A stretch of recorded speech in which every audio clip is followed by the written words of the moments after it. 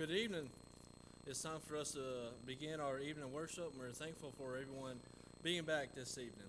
Uh, before we get started, uh, there was one announcement that was be uh, failed to mention this morning, but uh, Brother Felix Birdwell is having cataract surgery uh, this week and requests our prayers. So let's continue to uh, keep him and Odessa in our prayers as they're struggling with their health. we'll sing number 350.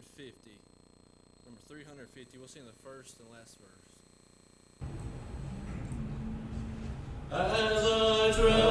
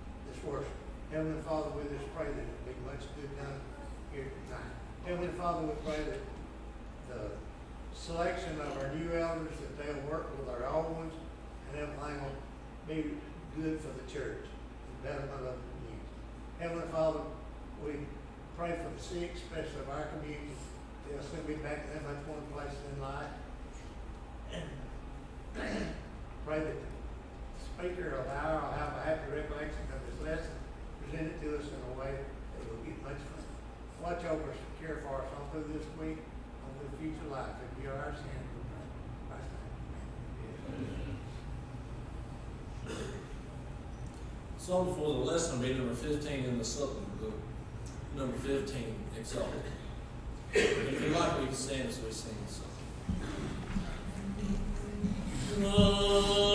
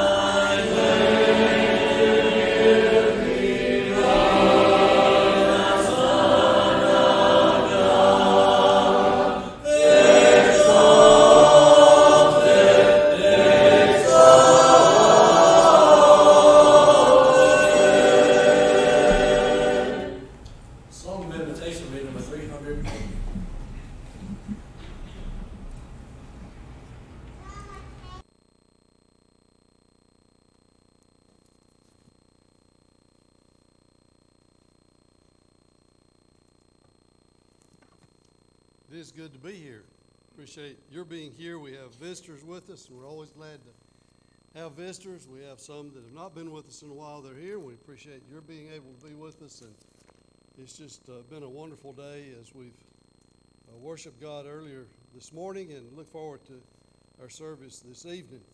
I'd like for us this evening to think about. Let me punched the wrong button. There we go.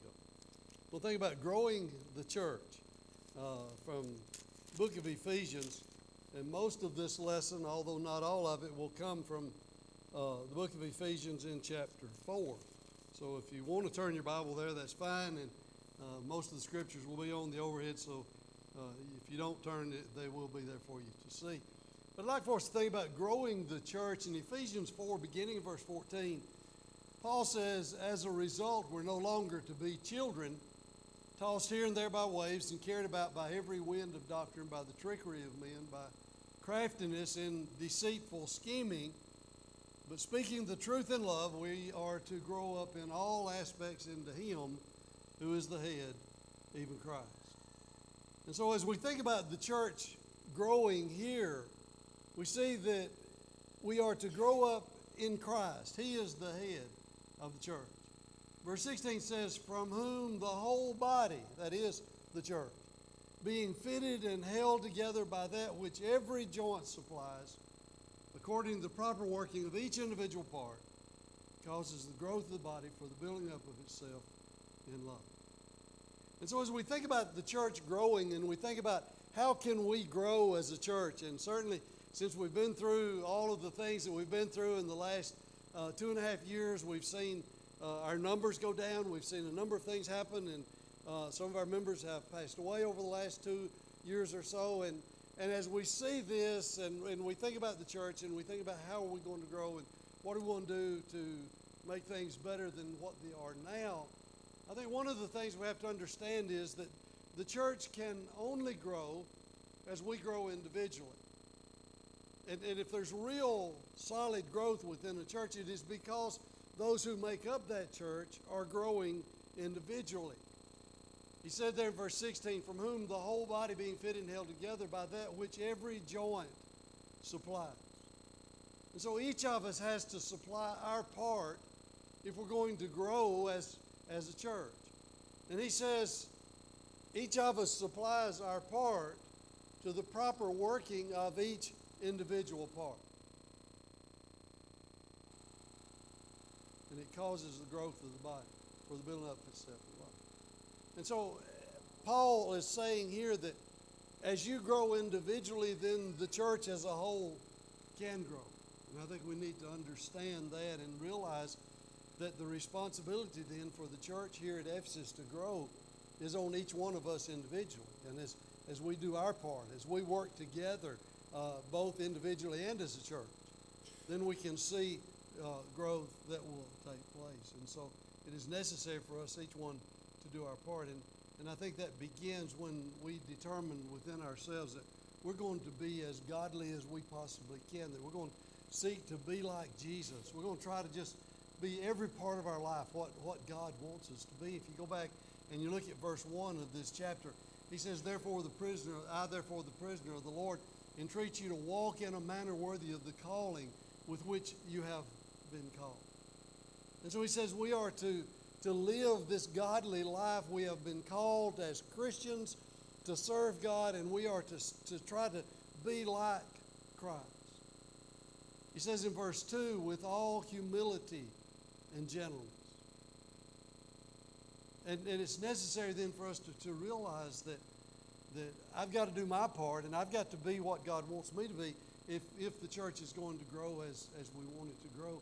And so he says, with all humility and gentleness, with patience, showing forbearance to one another in love.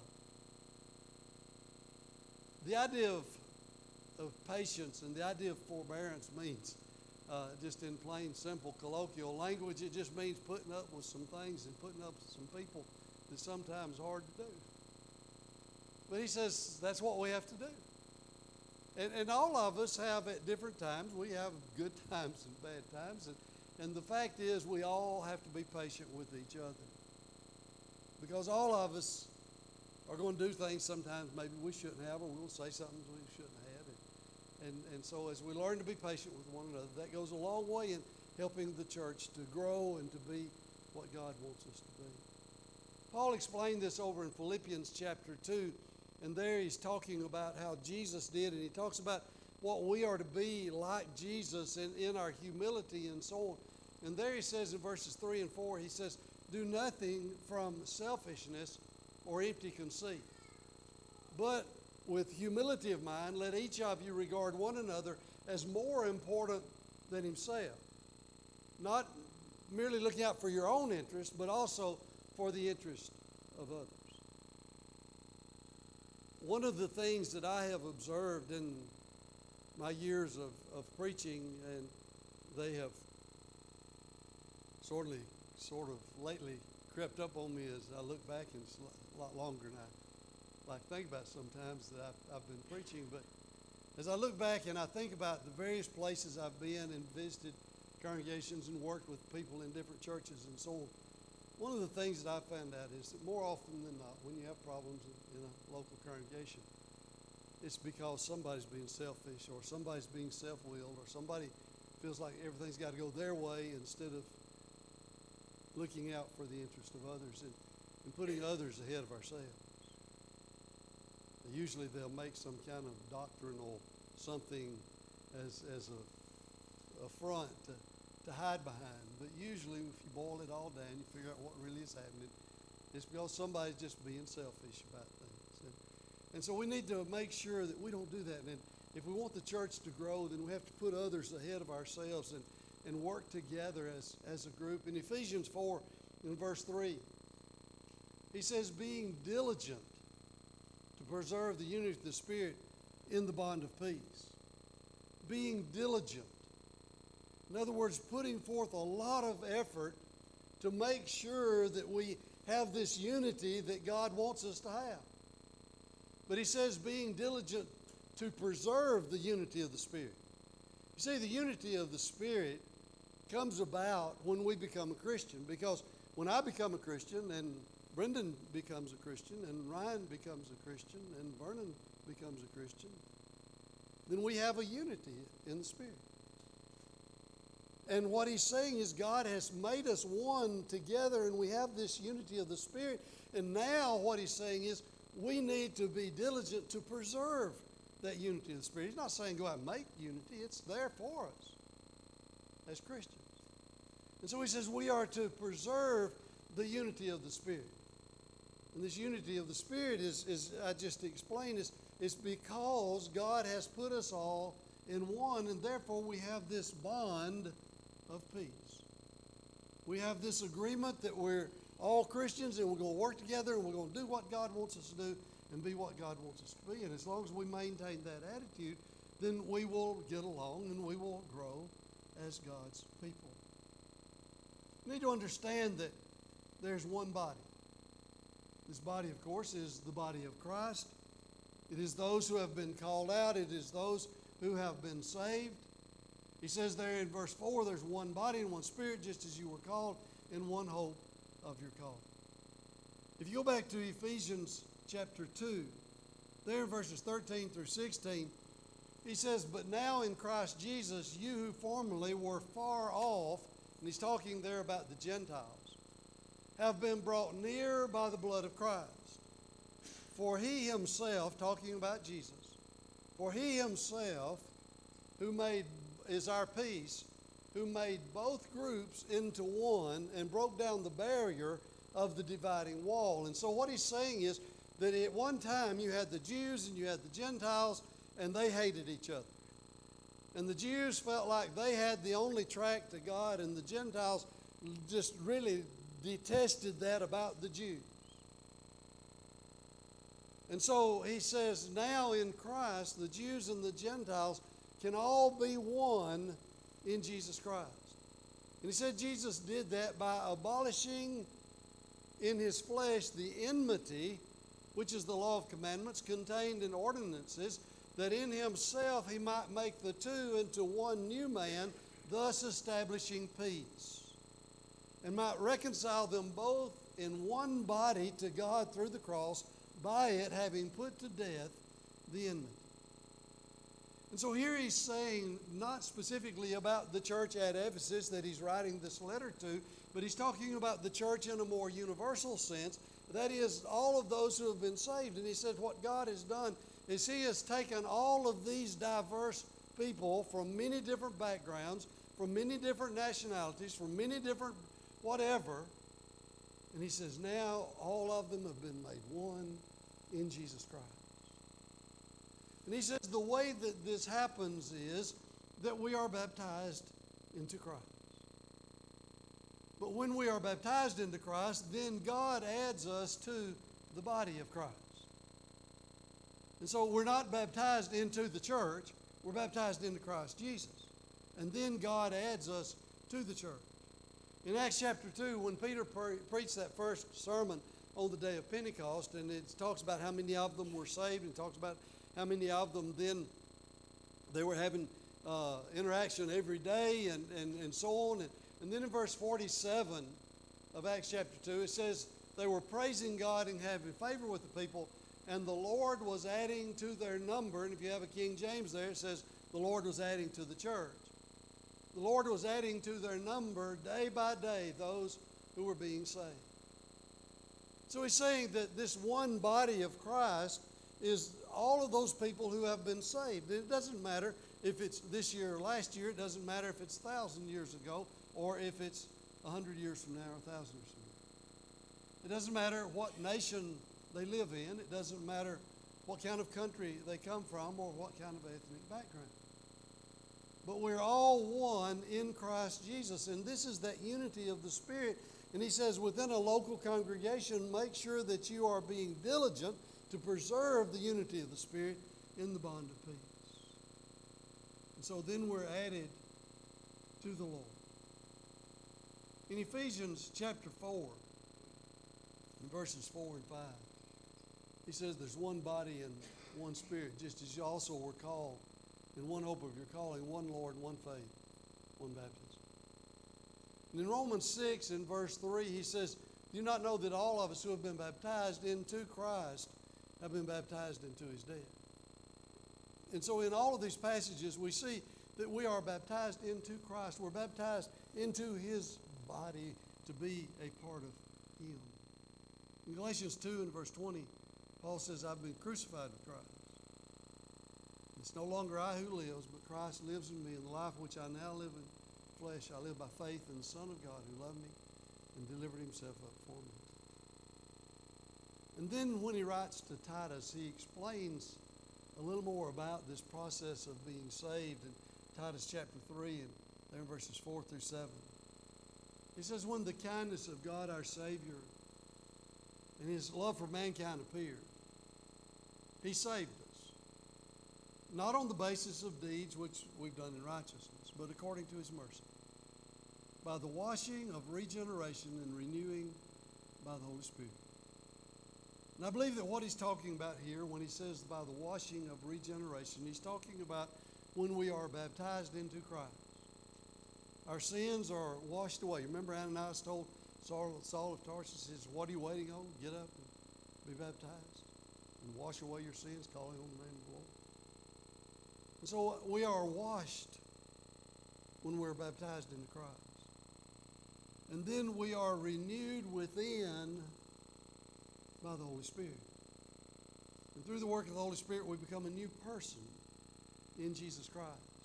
And so, Paul, in writing to the Romans in Romans chapter 6, a little after what I referred to a while ago, he talks about the fact that when we're buried with Christ, we're raised to walk in newness of life. We become a new person in Jesus Christ. And so he says, by the washing of regeneration, renewing by the Holy Spirit, whom he poured out upon us richly through Jesus Christ our Savior that being justified by his grace, we might be made heirs according to the hope of eternal life. And so, as a child of God, my sins have been washed away. I have the Spirit of God to live in me and to help me and to guide me, to change me into that new person. So that over a period of time, the fruit of the Spirit begins to flourish in my life.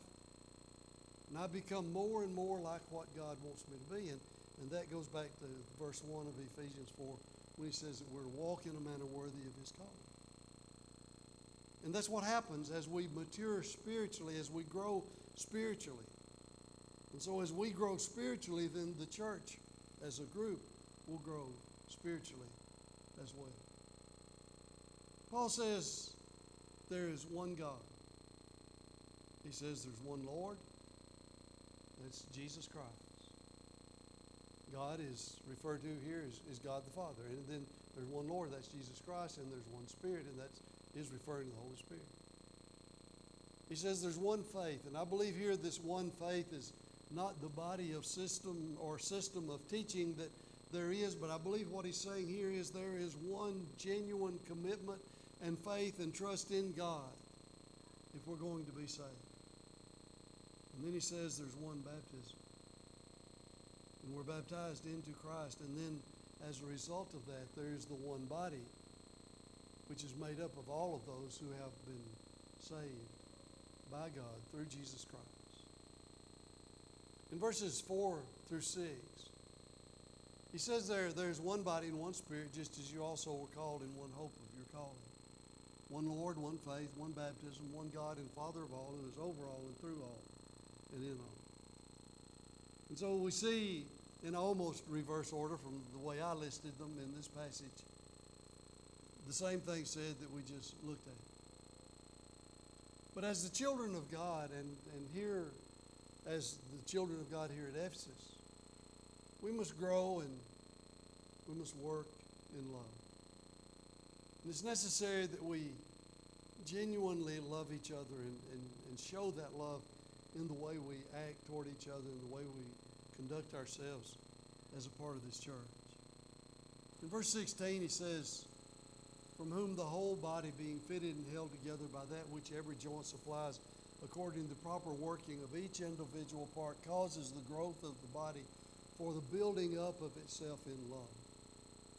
And so it's necessary then that we, we live a life of love. It's interesting, just if you go on to the very next chapter, he begins that chapter, chapter 5, by saying, Therefore, be imitators of God as beloved children and walk in love, just as Christ also loved you and gave himself up for us, an offering sacrifice to God as a fragrant aroma. And so he said, if we're going to be like God, then we've got to love. If we're going to be like Jesus Christ, we've got to demonstrate love in our lives. And it's so important. The church will never grow if, if we don't have that love. If we don't have the unity of the Spirit, if we don't seek to diligently to preserve the, the unity of the Spirit and the bond of peace, the church will never grow. Not only are we to work and grow in love, we have to be faithful to His will. We have to be faithful to His Word. We have to do it the way God says do it.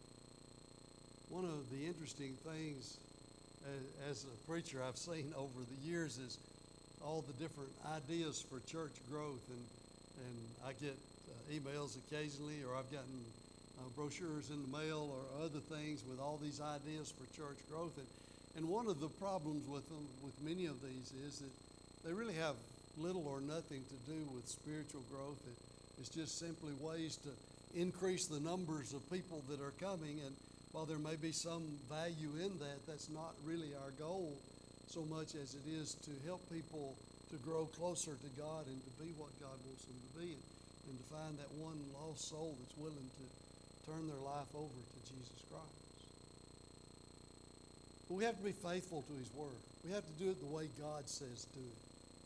He says in verse 14 and 15, as a result, we're no longer to be children, tossed here and there by waves and carried about by every wind of doctrine, by the trickery of men, by craftiness in deceitful scheming.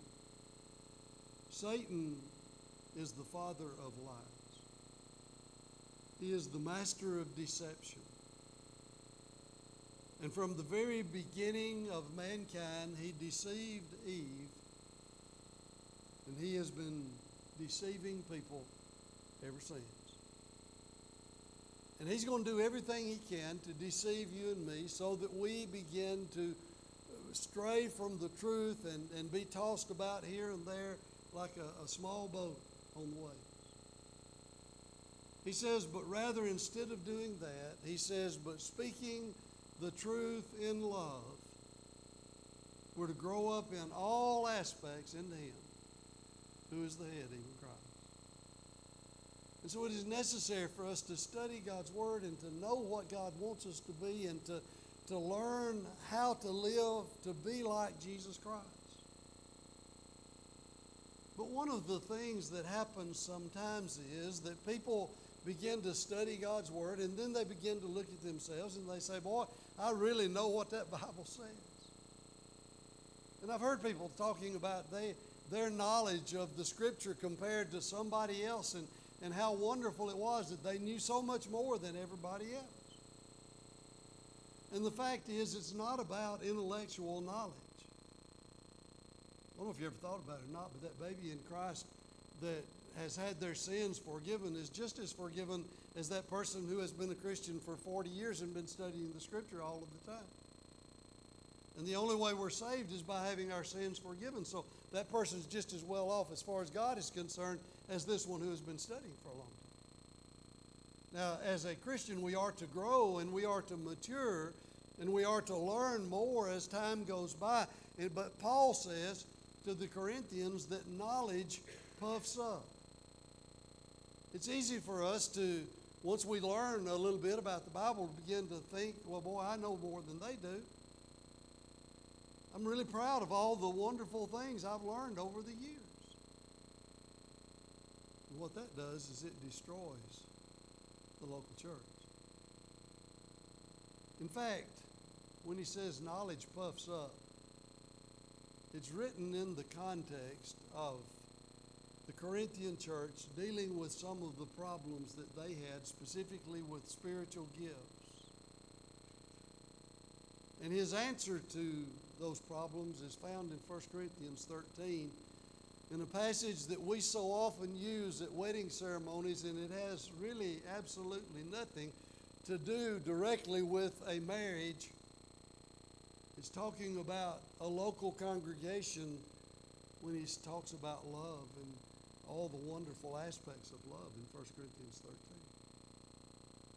And so the answer to it is to not be puffed up, not be proud, but rather to genuinely love one another. And so it's not about how much I know, it's about learning to be like Jesus in every part of my life.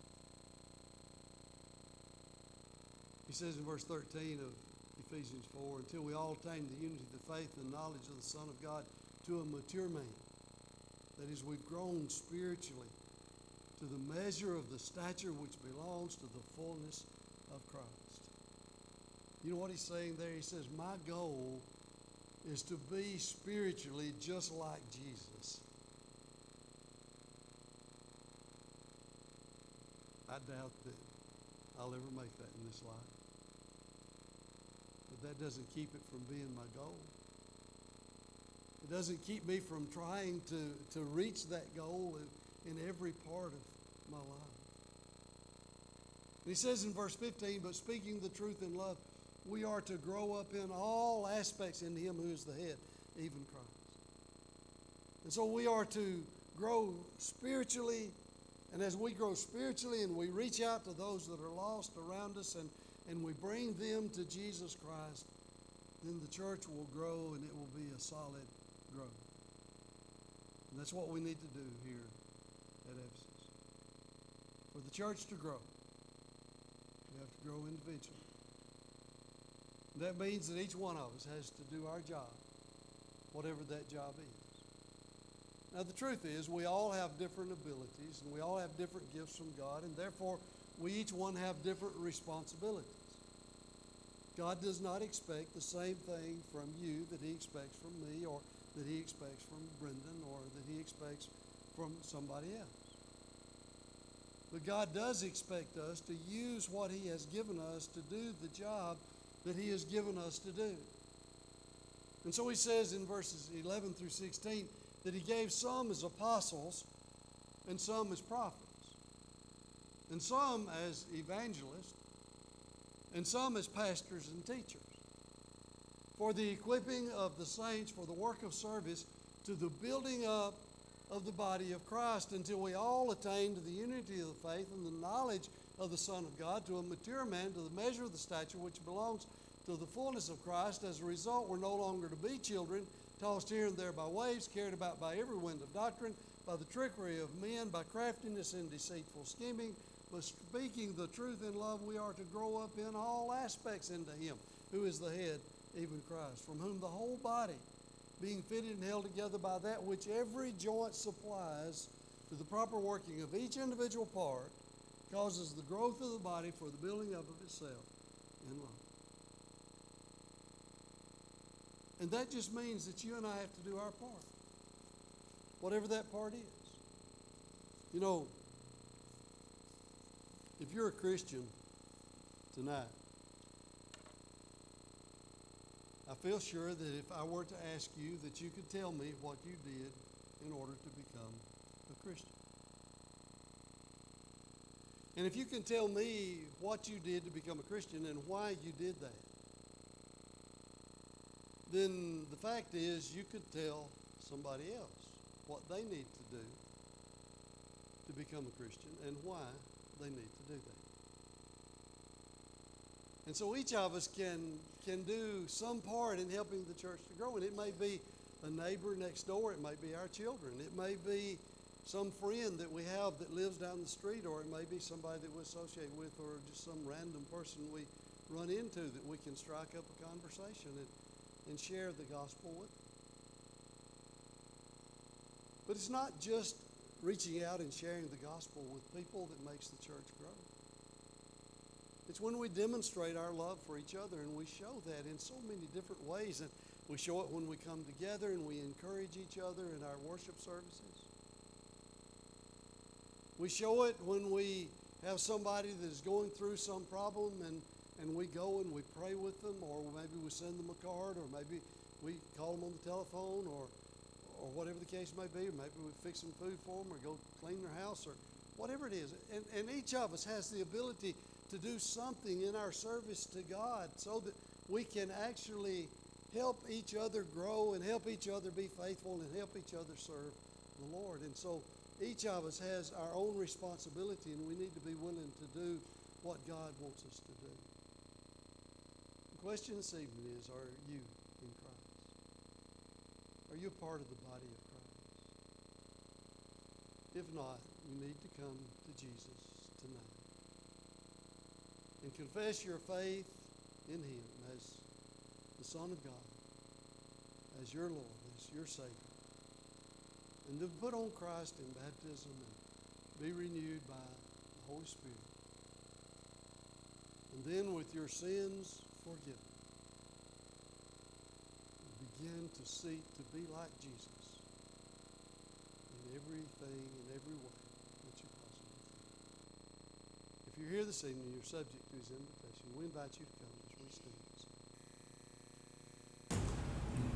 Amen.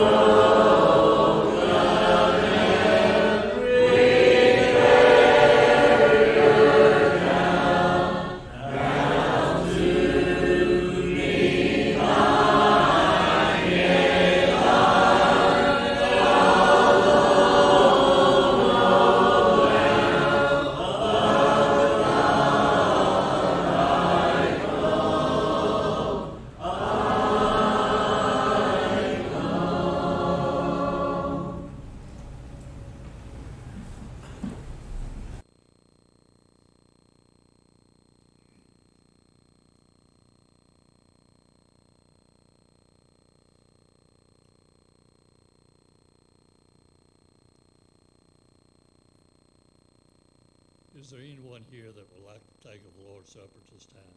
Please raise your hand.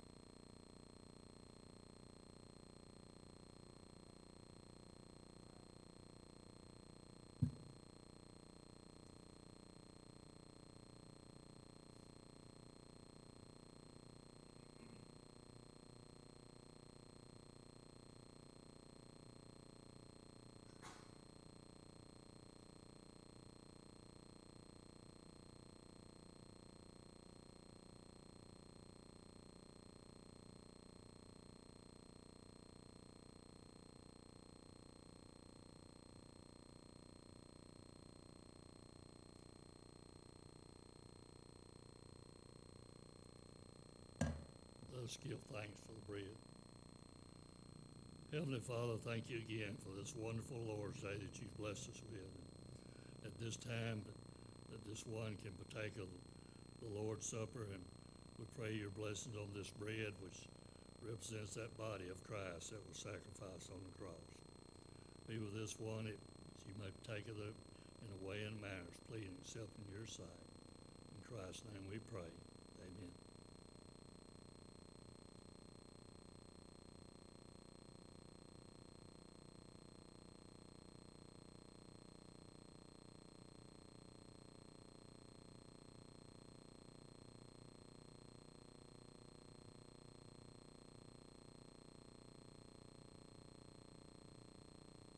Let's continue our prayer.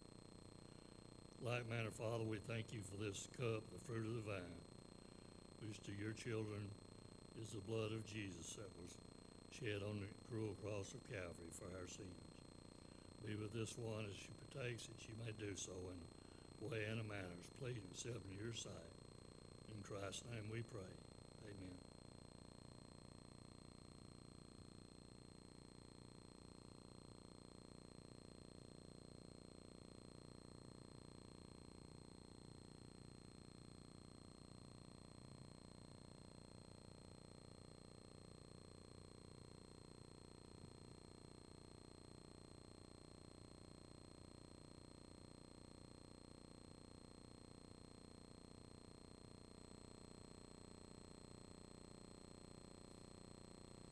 Again, as Brother Robert said, it's been a beautiful day to worship the Lord, and we pray that all of us have, have been edified uh, from today's worship, and we're so thankful that we were able to appoint new elders and deacons, and we're hopeful, uh, pray for them and, and their families as they embark on this new journey. Uh, we'll sing number 708, the first and last verse of this song, as our closing song, and then after which Brother Bob will lead us in our closing prayer. Let's all stand as we sing. Walking in sunlight